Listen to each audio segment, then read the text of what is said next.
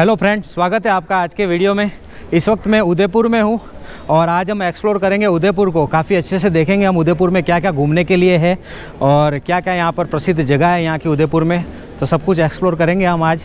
और फ़िलहाल इस वक्त मैं गणगौर घाट पर हूँ और ये उदयपुर के सेंटर में पड़ता है बिल्कुल। ये मुख्य द्वार है, प्रवेश द्वार है ये गणगौर घाट का। और गेट भी काफ़ी बढ़िया है, सुंदर है। और ये देखो ये पूरा घाट है। इस तरफ़ में आपको पूरी पेंटिंग्स वगैरह दिखेगी।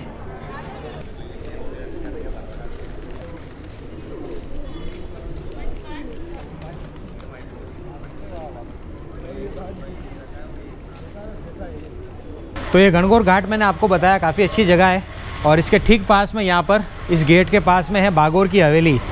ये बागोर की हवेली है और यहाँ पर म्यूज़ियम है और ये है टिकट विंडो, इसका यहाँ से टिकट मिल जाता है और टिकट का प्राइस है पचपन रुपये यहाँ पर शाम के समय में कल्चरल प्रोग्राम होता है, आप देखो, जिसे धरोहर कहा जाता है। लेकिन ये शाम को होता है। टाइमिंग देखो, यहाँ पर लिखा हुआ है शाम को सात से आठ के बीच। Thank you. तो ये यहाँ का एंट्रेंस है, देखो आप। काफ़ी सुंदर एंट्रेंस है।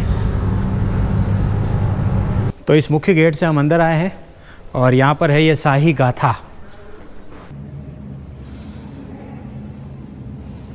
तो यहाँ पर ये सारे स्टेट वाइज फ्लैग बताए हुए हैं। पहले जो स्टेट थे, उनके क्या फ्लैग होते थे, वो यहाँ पर बताए हुए हैं। और उसी के साथ में यहाँ पर ये सारी स्टेचू है अलग अलग राजाओं की सारे प्रतीक चिन्ह लगे हुए हैं स्टेट वाइज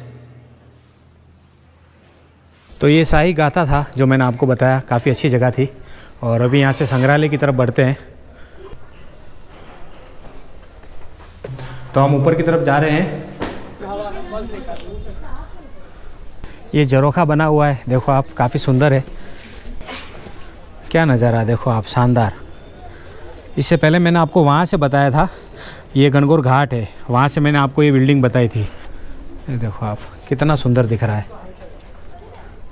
बहुत सुंदर। तो बहुत ही सुंदर नज़ारा था। सेकंड फ्लोर है ये, बागौर की हवेली म्यूज़ियम का। तो वो जरोखा है, मैंने आपको दिखाया था, वहाँ से मैं आगे आया हूँ इस तरफ़, और यहाँ पर ये है संग्रहालय। तो जैसे ही हम अंदर आते हैं, सबसे पहले यहाँ पर एक लिंग जी की तस्वीर है, फ़ोटो है। तो ये रानी की चौपड़ है, इसके अंदर चलते हैं।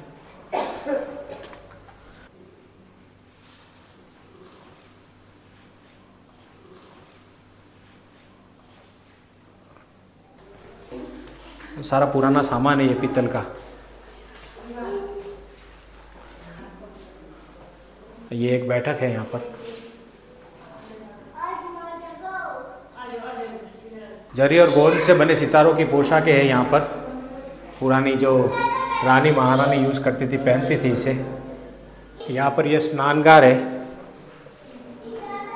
नहाने के जो बर्तन होते थे वो है सारे जिसमें पानी रखा जाता था। ये देखो, यहाँ पर पोर्ट्रेट से बताया हुआ है। ये है मनोरंजन कक्ष। यहाँ पर ये चौपड़ है बड़ी सी। लकड़ी की संगीत पेटी है ये, और ये सांप सीढ़ी है पुरानी। अभी हम जो ताश खेलते हैं, वो अलग थी, और ये ताश देखो कैसी थी पहले। तो ये सारा मनोरंजन का सामान है यहाँ पर, मैंने आपको बताया, काफ़ी सुंदर सुंदर है। और ये बैठक है। और यहाँ पर ये है गणगौर कक्ष। राजस्थान में फ़ेमस है गणगौर। तो ये इस तरह से गणगौर तैयार होते थे, देखो आप। ये शयन कक्ष है, सोने का कमरा। ये जो पलंग आप देख रहे हो, इस पर चांदी चढ़ी हुई है। अभी हालाँकि थोड़ा काला पड़ गया है, लेकिन ये पूरा चांदी चढ़ा हुआ पलंग है। इस तरफ़ में यहाँ पर एक संदूक रखा हुआ है लकड़ी का। और ये सारे बर्तन रखे हुए हैं पुराने। ये एक झरोखा है, जो कि बहुत सुंदर है। देखो आप, कितना बढ़िया लग रहा है। ये जो लाइटिंग आ रही है बाहर से, उसके बाद ये जो रेड कलर है, कुछ अलग ही दिखता है। तो काफ़ी बढ़िया है बागौर की हवेली म्यूज़ियम। मैंने सोचा नहीं था इतना बढ़िया होगा। बहुत अच्छा म्यूज़ियम है ये। और सब कुछ काफ़ी अच्छे से रखा हुआ है। तो नीचे आ गए हैं हम, देखो आप। और ये पगड़ी संग्रह है। ये देखो आप। बहुत सारी पगड़ियाँ हैं अलग अलग टाइप की और सबके अलग अलग नाम है अलग अलग तरीके से बंधी हुई है, देखो आप। तो पगड़ी का साइज़ देखो आप।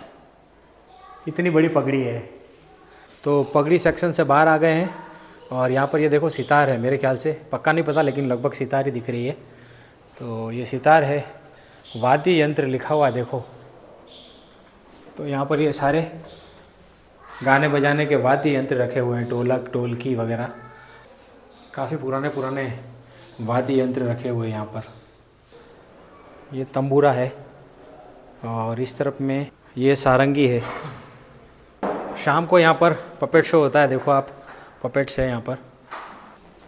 तो ये नीचे से मैं आपको दिखा रहा हूँ, दो सेक्शन मैंने आपको दिखाए, उससे पहले हम ऊपर थे वहाँ पर। तो बागोर की हवेली से बाहर आ गया हूँ मैं म्यूज़ियम से, और ये गनगौर घाट मैंने आपको बताया था। अभी यहाँ से हम आगे चलते हैं जगदीश टेंपल के लिए, जो कि यहाँ से लगभग 200 मीटर है।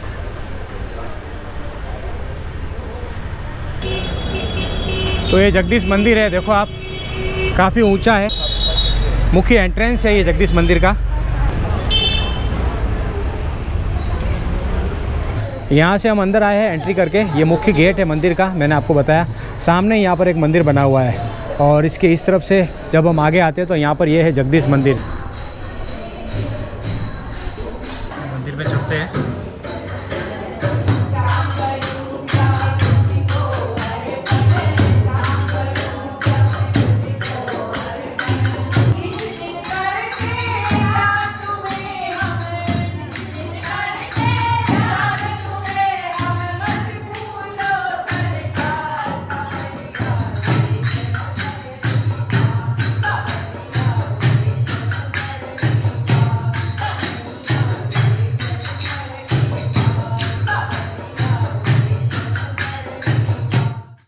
नमस्कार पंडित जी। नमस्कार। ये योगेश जी महाराज है जगदीश मंदिर के मुख्य पुजारी है। जय श्री कृष्ण। ये जगदीश मंदिर जो है सिक्सटीन सेंचुरी का बना हुआ मंदिर है। महाराणा जगत सिंह जी थे उस जमाने में।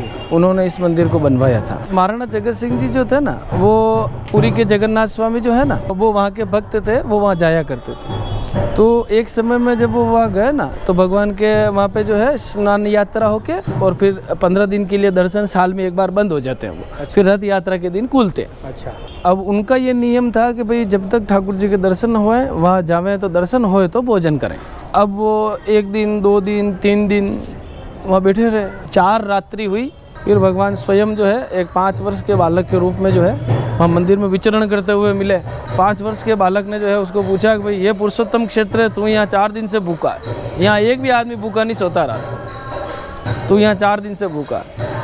तो मैंने नहीं भाई हमारे तो भगवान ये नियम है कि भगवान का दर्शन हो जाए तो भोजन कर। उसी बालक ने जो है आ, वो भगवान विष्णु का स्वरूप हुआ। शंख चक्र गधा पद्मधारी भगवान विष्णु के स्वरूप में जो है उस राजा जगत सिंह को दर्शन हुए और भगवान ने अपने स्वयं के हाथ से जो है उसको प्रसाद दिया, ले, अब खा, भोजन कर ले। उसने वो भोजन किया। फिर भगवान ने कहा, राजा, तू, तेरी भक्ति से हम प्रसन्न अगर तेरी इच्छा होए तो हम तेरे राज्य में आने की इच्छा रखते हैं। मन, तू मंदिर बनाएगा तो हम आएँगे। तो हमारे यहाँ पे एक जग मंदिर है। वहाँ पे मेल है, जग मंदिर में। तो उस मेल में जो है राजा तीन दिन तक बिना खाए, बिना पिए एकांतवास में चला गया। एकांतवास में चला गया तो फिर भगवान आए, क्या हुआ राजा? तू इतनी इतनी चिंता क्यों? मुझे पैसे नहीं है। मंदिर कैसे बनाऊँ सर? मैंने कहा, अरे तू क्यों चिंता करता है। तू काशी जा और ब्राह्मणों से जाके मिल। तो वो ब्राह्मणों से जाके मिला और फिर उन्होंने कुछ अनुष्ठान ऐसा किया जिससे उसको जो है धरती से जो है धन प्राप्त हुआ। उससे ये मंदिर उस राजा ने बनाया। फिर ये वापस मंदिर बनने के बाद में महाराणा जगत सिंह जी जो है, पूरी जगन्नाथ में। और मंदिर कंप्लीट हो गया इस बात की सूचना भगवान को दी। भगवान ने कहा, ठीक है। उन्होंने कहा, हमारा श्री विग्रह यहाँ से ले जा और वहाँ पे स्थापित कर दे। तो राजा ने कहा, नहीं। जैसे स्वरूप में आपने मेरे को दर्शन दिए, वैसा स्वरूप चाहिए मेरे तो भगवान जगदीश ने वहाँ से एड्रेस बताया कि तेरे वहाँ पे, तेरे राज्य में एक जंगल है, वीड़ावल नाम का। उस जंगल में जाना, एक वट वृक्ष का पेड़ आएगा, उसके नीचे खोदना, ग्यारह हाथ खोदने के बाद में हमारा स्वरूप है निकालना, और वो ला के बेटा उनको आपने हमसे ये प्रोमिस किया था हुक्म कि राजा, अगर तू मंदिर बनाएगा तो मैं आऊँगा। जब आप वहाँ पधारो तो मुझे दर्शन हो जाए। उन्होंने कहा हाँ राजा, ले जाएगा। कोई दिक्कत नहीं। ऐसा है कि तू वो स्वरूप लिया और फिर ऐसा करना कि चार सोने के कड़े तू बना के यहाँ लाना, जगन्नाथपुरी। यहाँ लाना और यहाँ भेंट कर देना तू। जब तू प्रतिष्ठा हो जाएगी मूर्ति की तो तू पर्दा कर देना और पाँच भजन गाना भगवान के। और पाँच भजन हो जाए ना, वो पर्दा हटा देना।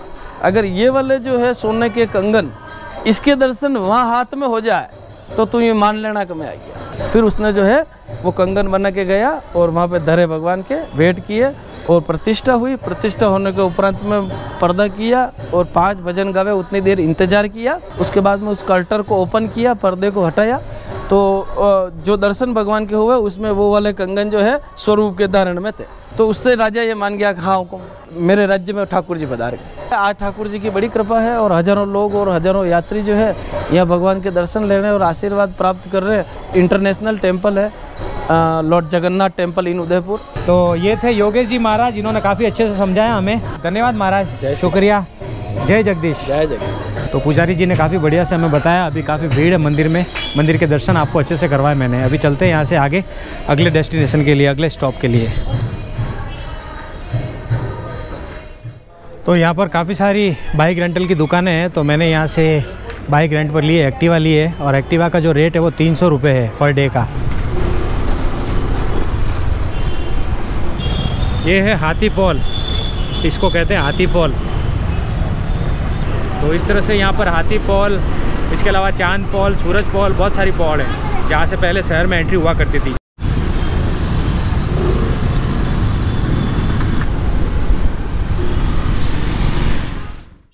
आगे बढ़ रहा था लेकिन काफ़ी भूख लग रही है। लगभग एक बज गया है तो थोड़ा सा नाश्ता करते हैं और उदयपुर का फ़ेमस नाश्ता करेंगे राजस्थान का फ़ेमस नाश्ता करेंगे। तो कचौरी फ़ेमस है यहाँ की और ये जगह है जयेश मिष्ठान भंडार। सर कब से दुकान है आपकी? यहाँ इसको 25 साल हो गए 1964 से हमारा सूरज पोल पे अच्छा। हाँ। जे एम बी जयेश मिष्ठान जे एम बी जगदीश मिष्ठान अच्छा। जे एम बी जय मिष्ठान। सब एक ही है? हाँ। तीन आउटलेट हमारा। तो ये प्याज की कचौरी है। तो प्याज की कचौरी ली है मैंने थर्टी रुपीज़ की प्लेट है और काफ़ी बड़ी कचौरी है। वैसे कचौरी के साथ में चटनी भी मिलती है अगर आपको चाहिए तो लेकिन मैं सिर्फ़ कचौरी खा रहा हूँ। अच्छा कड़ी भी मिलती है। एकदम स्पाइसी है। मज़ा आ गया मुँह खुल गया पूरा। बहुत अच्छी कचौरी है। इसको बोलते हैं तगारी राजस्थानी में। तो ये पूरी खाली होती रहती है हर पाँच दस मिनट में इतनी कचौरी बिकती है यहाँ पर। तो काफ़ी फ़ेमस है ये जे कचौरी में।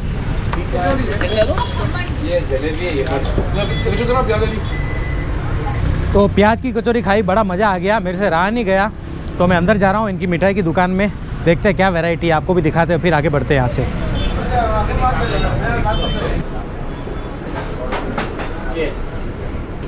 तो ये मनीष जी है यहाँ के ओनर है ये हमें कुछ बता रहे हैं। ये हमारा राजस्थानी ट्रेडिशनल आइटम होता है घेवर। अच्छा घेवर बारह महीने चलता है यहाँ पे। कौन सा मलाई घेवर है ये। मलाई घेवर? जी। अच्छा। एंड बाकी जो अगर आप देखें तो ये विंटर स्पेशलिटीज़ हैं उड़दा लड्डू अच्छा। पिन्नी जिसको बोलते हैं और हरे चने की कतली लीलवा कतली और ये संगम बर्फ़ी है। ये हमारा सिग्नेचर स्वीट है काजू गुलकंद पिस्ते का। तो क्योंकि घेवर के बारे में सबसे ज़्यादा सुना है मैंने राजस्थान में तो सबसे पहले घेवर टेस्ट करते हैं मलाई घेवर। मलाई काफ़ी ज़्यादा हाथों में लग रही है।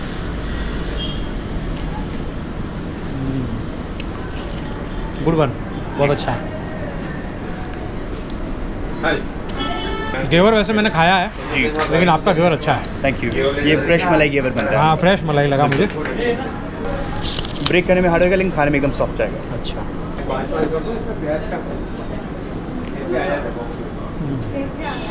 फ़िश बिल्कुल। देसी घी में ड्राई फ्रूट्स के साथ। तो जे करके दुकान है ये और काफ़ी पुरानी दुकान है 1963 से है लगभग और चेतक सर्कल के पास में है। वैसे मैं मिठाई खाता नहीं हूँ लेकिन मैंने पार्सल करवा लिया है थोड़ा कुछ और दो तीन दिन में हूँ यहाँ पर उदयपुर में तो मैंने सोचा चलो इनका मिठाई टेस्ट करेंगे जब तक उदयपुर में है। अभी हम यहाँ से जाएँगे सज्जनगढ़, जो कि यहाँ से लगभग छः किलोमीटर है। तो सज्जनगढ़ चलते हैं, सज्जनगढ़ घूम के हमको वापस आने में भी टाइम लगेगा और अभी लगभग दो बज चुके हैं।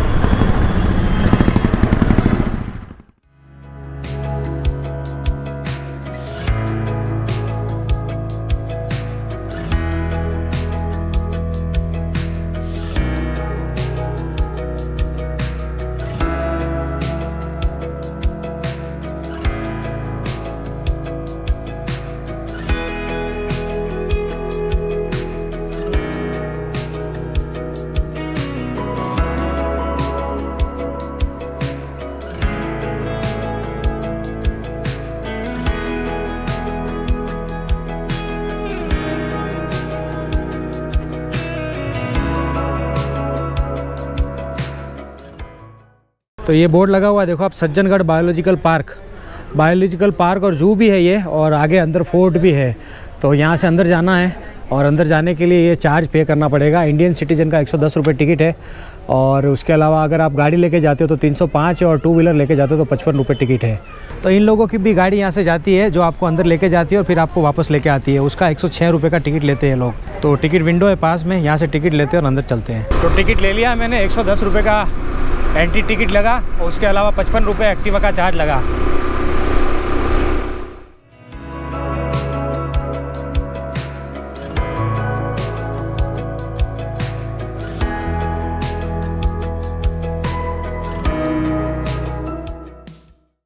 तो ये पार्किंग है सज्जनगढ़ का। मैं ऊपर आ गया हूँ। यहाँ पर टू व्हीलर का पार्किंग है, उस तरफ़ में फोर व्हीलर का पार्किंग है। और इस तरफ़ से हमें जाना आगे सज्जनगढ़ के लिए। सामने सज्जनगढ़ दिखेगा आपको, देखो यही है पूरा। यहाँ से एंट्री है, ये मेन गेट है। तो अठारह में इसे मेवाड़ के महाराणा सज्जन सिंह जी ने बनवाया था। और ये पहाड़ी है, इसे बांसदरा की पहाड़ी कहते हैं। जहाँ से हमने टिकट लिया था नीचे गेट से, वहाँ से यहाँ आने में लगभग 10 मिनट का समय लगता है।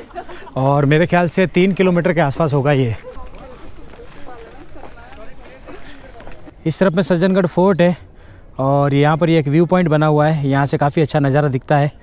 ये नीचे का नज़ारा है देखो। यहाँ से पूरा उदयपुर दिखता है और काफ़ी शानदार दिखता है।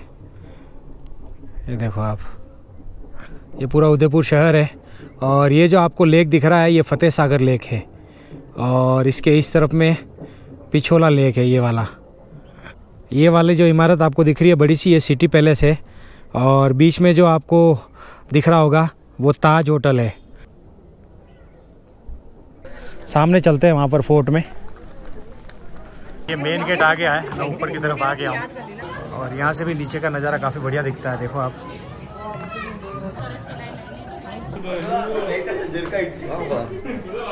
इस गेट से हम अंदर आए हैं और यहाँ पर भी ये पैसेज है यहाँ से नीचे का नज़ारा दिखता है। अंदर चलते हैं पैलेस में।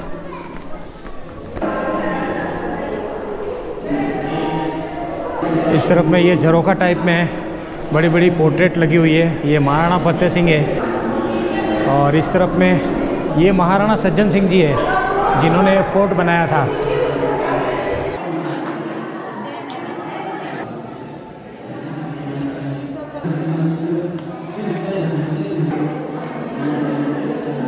पर ये राजस्थान की जैव विविधता बता रहे हैं।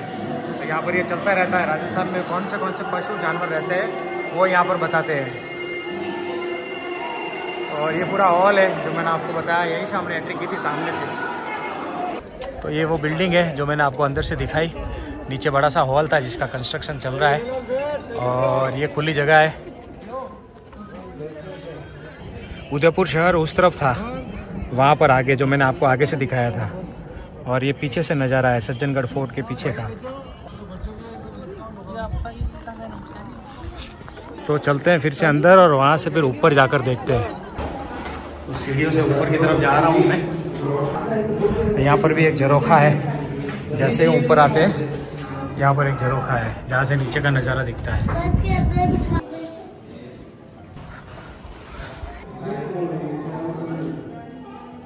यहाँ से भी नीचे का नज़ारा दिखता है। तो वो इसी तरह से ये भी एक हॉल है, जहाँ पर सारे झरोखे हैं और जरोखे में से आपको नीचे नज़ारा देखने को मिलता है।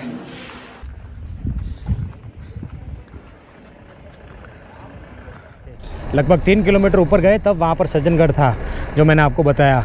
अभी मैं नीचे आ गया हूँ तो ये सज्जनगढ़ फोर्ट था, बाकी यहाँ पर एक बायोलॉजिकल पार्क भी है सज्जनगढ़ का, जिसका पैंतालीस रुपये का टिकट है। आप चाहो तो इसे देख सकते हो।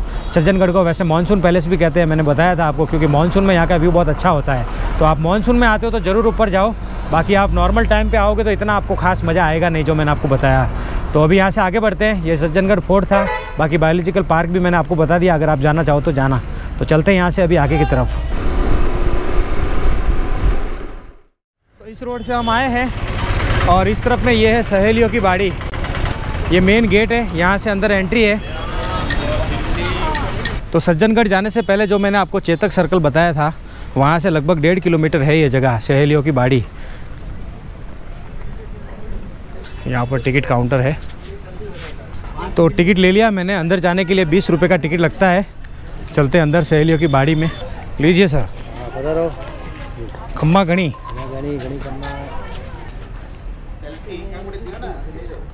महाराणा संग्राम सिंह ने इसे बनाया था 1710 से 1734 के बीच में। जो महारानियाँ थी, रानियाँ थी, उनके लिए बनाया गया था और इसके नाम से पता चलता है सहेलियों की बाड़ी। और मैं अंदर आ गया हूँ, देखो आप, सुंदर बगीचा है। इस तरफ़ भी बड़ा सा बगीचा है, सुंदर सा। और इस तरफ़ भी बगीचा है। और इस तरफ़ में आपको ये फ़ोटो वगैरह खिंचवाने के लिए ड्रेस वगैरह मिल जाती है, राजस्थानी पोशाक। और ये है मेन गेट अंदर जाने के लिए। इसमें यहाँ पर कलर का काम किया गया है तो पानी बंद है। यहाँ पर पानी भरा रहता है और चारों तरफ़ से पानी आता है और बीच में यहाँ पर ये जो मूर्ति दिखती है, इसके आसपास में भी पानी होता है। इस जगह का नाम था बिन बादल बरसात। मैंने आपको बताया, यहाँ पर पहले बहुत पानी हुआ करता था, पूरा भरा रहता था और काफ़ी सारे फाउंटेन चलते थे अलग अलग और ये पूरा गार्डन है। तो इस तरफ़ चलते हैं। तो ये वो भवन है जिसमें प्रदर्शनी थी, अंदर मैंने आपको बताई। मैं पीछे की तरफ़ आ गया हूँ और यहाँ पर ये है कमल तलाई। ये जितने भी आपको पौधे दिख रहे हैं, फूल दिख रहे हैं, ये कमल के पौधे हैं। ये आपको जो पॉइंट दिख रहे होंगे, देखो आप, ये इस तरह के सारे पॉइंट हैं। यहाँ पर है, यहाँ पर है। तो ये जितनी भी सराउंडिंग वॉल दिख रही है आपको कमल तलाई की, यहाँ पर सब जगह फाउंटेन है, फवारे लगे हुए हैं।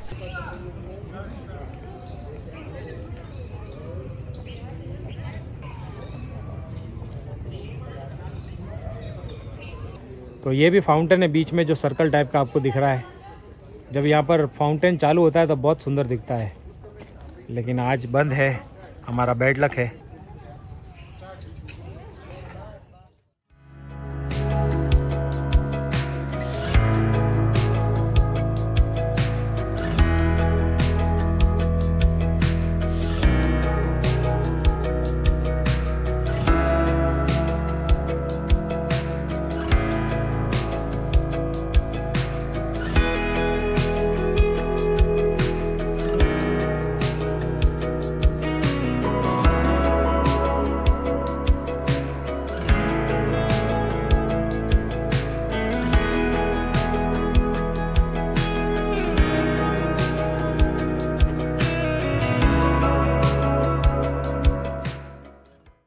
तो अभी मैं आ गया हूँ मोती मगरी पर। ये मेन गेट है यहाँ का और ये टिकट विंडो है। तो टिकट मैंने ले लिया है, सौ रुपये एंट्री फ़ीस है और तीस रुपये टू व्हीलर का चार्ज लिया इन्होंने। लगभग आने जाने का डेढ़ किलोमीटर के आसपास हो जाता है और थोड़ा चढ़ाई का रास्ता है। तो मैंने एक सौ तीस रुपये पे किया है यहाँ पर टिकट का। तो आगे बढ़ते हैं। यहाँ से ये सीढ़ियाँ भी है, अगर आपको जाना हो तो। सीढ़ियों से ऊपर जाने का रास्ता काफ़ी प्यारा है वैसे, देखो आप। हमने एक्टिवा ली है और इसका टिकट भी दिया है तो हम यहाँ से जाएँगे।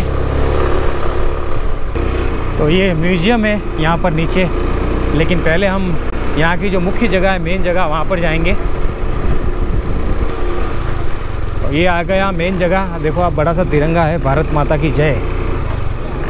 तो यहाँ से हम आए हैं नीचे से। यहाँ पर पार्किंग किया है हमने, सामने पार्किंग है टू व्हीलर और फोर व्हीलर का फ्री पार्किंग है। और यहाँ पर ये बड़ा सा फ्लैग है, हमारा देश का झंडा लहरा रहा है, शान से। देखो, आप काफ़ी बढ़िया दिख रहा है ये, और काफ़ी ऊँचा भी है। और यहाँ से आगे चलना है हमें।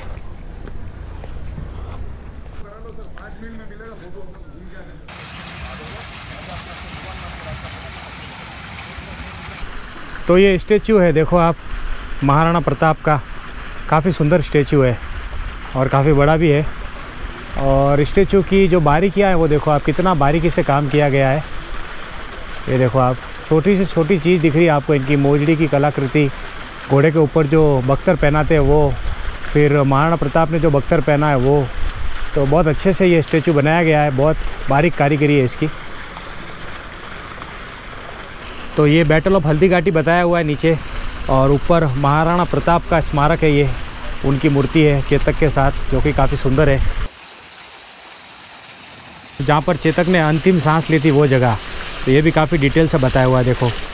ये चेतक है महाराणा प्रताप का घोड़ा, और महाराणा प्रताप उसे अंतिम विदाई देते हुए।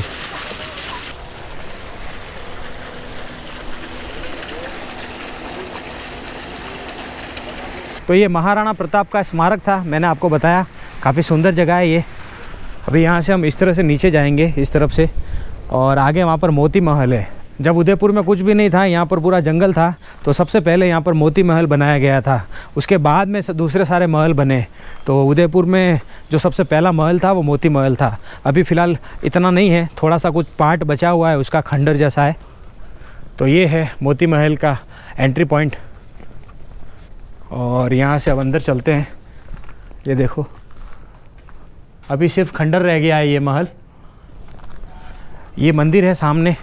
और मंदिर के इस तरफ़ में भी खंडर है। ये देखो। यहाँ पर भी ये छोटा मंदिर है पुराना, और ये एक स्तंभ टाइप का बना हुआ है, देखो आप ये। तो मोती महल से मैं थोड़ा नीचे इस तरफ़ में आया हूँ, और यहाँ से एक रास्ता नीचे जाता है, और यहाँ से आपको जो लेक है उसका व्यू दिखता है, काफ़ी शानदार व्यू आता है।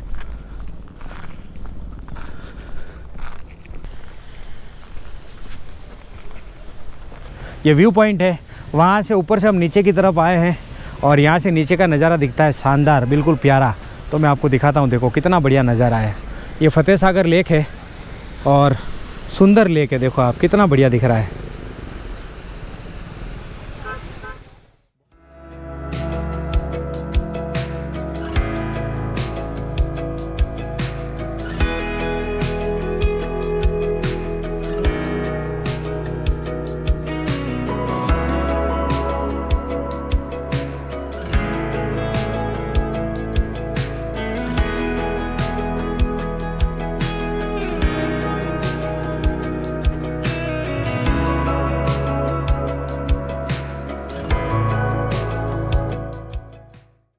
हीरोज़ म्यूज़ियम है, ये वीर भवन कहते हैं इसे।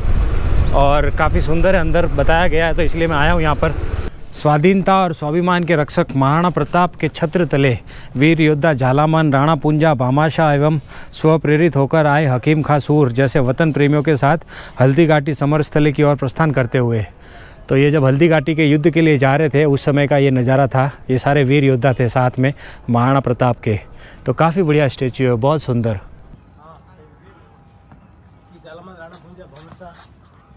यहाँ पर ये भवन है, म्यूज़ियम है, इसे वीर भवन कहते हैं।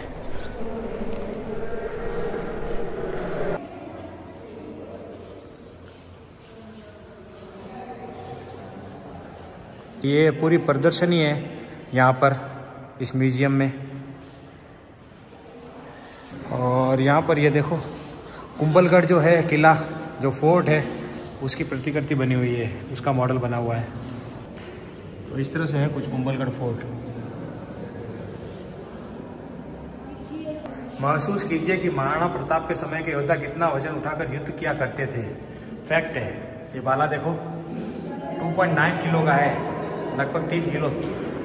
और इसके बाद में ये तलवार है, लगभग दो किलो की। और उसके बाद में ये ढाल है, ये लगभग ढाई किलो की है। और ये तीर कमान है, ये भी सवा दो ढाई किलो के हैं। ये बख्तर है और बख्तर का वज़न है लगभग 16 किलो, दो सौ पंचानवे ग्राम मतलब लगभग सवा सोलह किलो। तो सवा सोलह किलोग्राम का ये बख्तर है। इतने भारी भारी बख्तर पहन के युद्ध किया करते थे, आप सोचो। और ये है हल्दी घाटी की पवित्र माटी। इसके अंदर हल्दी घाटी की पवित्र मिट्टी है। यहाँ पर लिखा हुआ है। तो ये सारे हथियार थे जो मैंने आपको बताए, जो यूज़ किया करते थे पहले, और सबका वज़न लिखा हुआ था। और इस तरफ़ में यहाँ पर सिटी पैलेस का भी बनाया हुआ है, देखो आप। तो कुछ इस तरह से है सिटी पैलेस।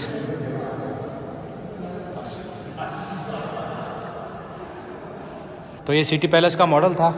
इस तरफ़ में यहाँ पे हल्दी घाटी रण क्षेत्र बताया गया है। हल्दी घाटी का जो रण क्षेत्र था, वो कुछ इस तरह से था।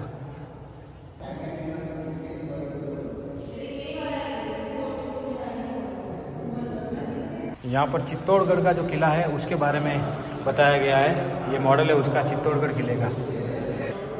तो कुछ ऐसा दिखता है चित्तौड़ का किला।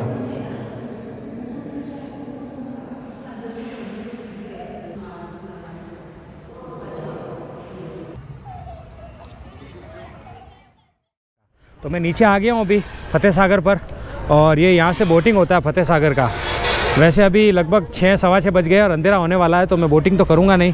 वैसे इच्छा पूरी थी बोटिंग करने की और आपको दिखाने की, लेकिन टाइम काफ़ी हो गया है तो मैं आपको दिखा नहीं पाऊँगा, अच्छे से अंधेरा हो जाएगा। तो मैं आपको एक बार यहीं से व्यू दिखा देता हूँ, ये फतेह सागर लेक है और काफ़ी सुंदर लेक है, देखो आप, अभी सनसेट हो रहा है और नज़ारा बेहद शानदार दिख रहा है।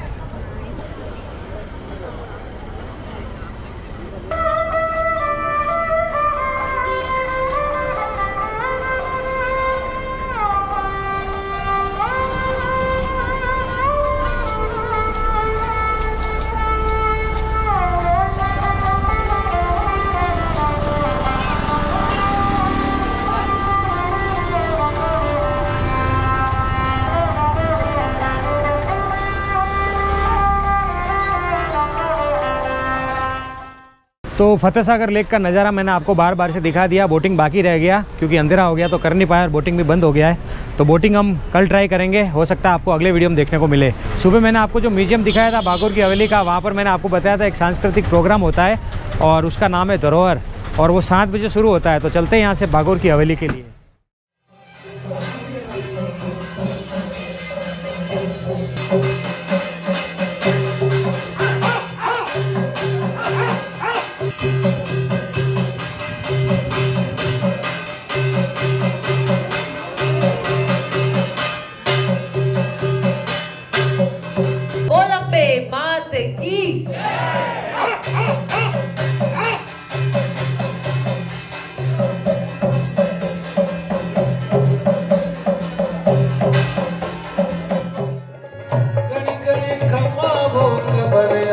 अजमर बाबजीर